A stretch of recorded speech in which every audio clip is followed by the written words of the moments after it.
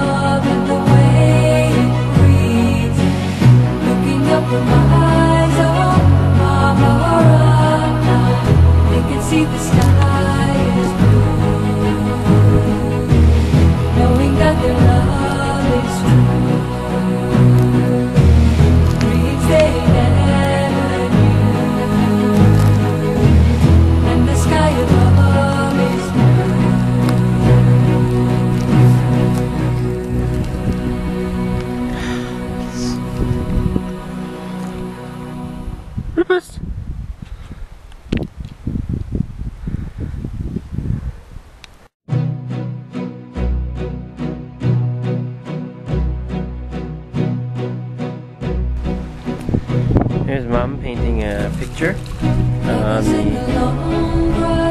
almost the mouth the front French River. Just on the other side of that boulder is Georgian Bay.